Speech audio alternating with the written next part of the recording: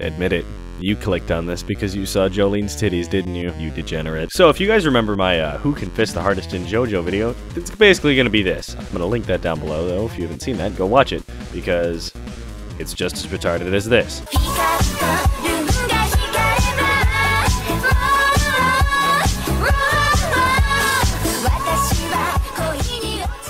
I'm sick, so if I sound stupid or just a little bit more retarded than usual, that's why. Okay, let's start with part one. Obviously, we need to start with Jonathan and Dio, the two main boys of the part. You know, besides God, Speedwagon, you know.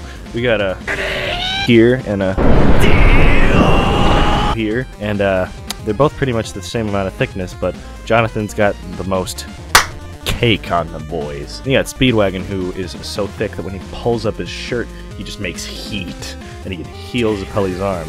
Meanwhile, Zeppeli's sitting there like, oh, I'm not that thick, but I died because I got cut in half because my cake couldn't withstand some chains. Then we go into part two. We have Joseph, Caesar, and ah!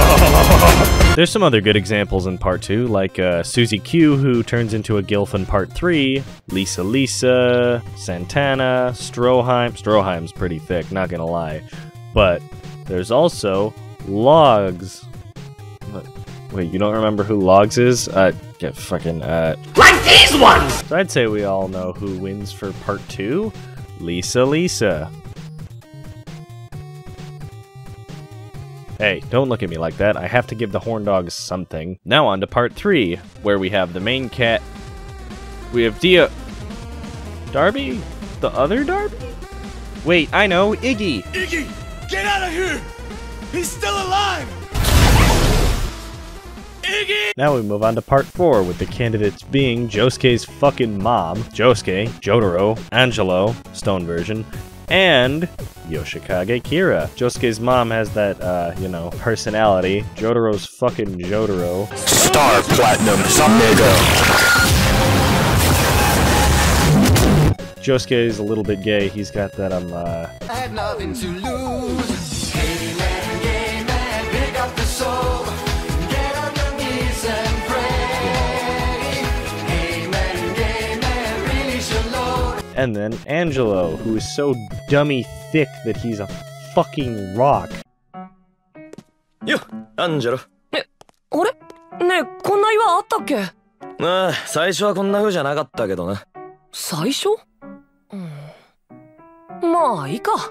よアンジェロ Then, you know, Yoshikage Kira, who's so dummy thick that he could blow away time just with his sheer amount of mass. He collapsed in on himself like a fucking neutron star. So I think Angelo wins for that one. Now going into part 5. Oh dear, we have a lot of competitors for part 5, don't we? We have Giorno, Bruno, Abbacchio, Mista, Narancia, Trish, Diavolo, Polnareff, and Doppio. So, starting off with the beginning, Giorno, that's a pretty good start. He's so thick that Mista couldn't handle his suck.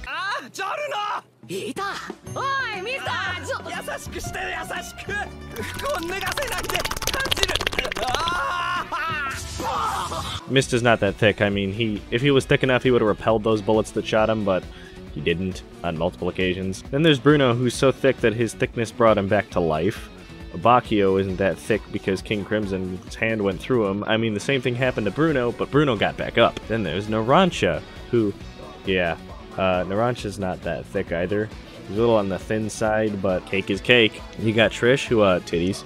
You got Diavolo, he's pretty thick. His thickness allows him to halt time and take a little eraser and erase the parts that he doesn't like. Kind of like, you know, uh, a journalist taking a story and just erasing the bits that they don't like to make their own weird twisted article that isn't even about the topic at hand. And then Doppio. Doppio's not thick, he's just adorable. So I think the winner in part 5 is the Turtle.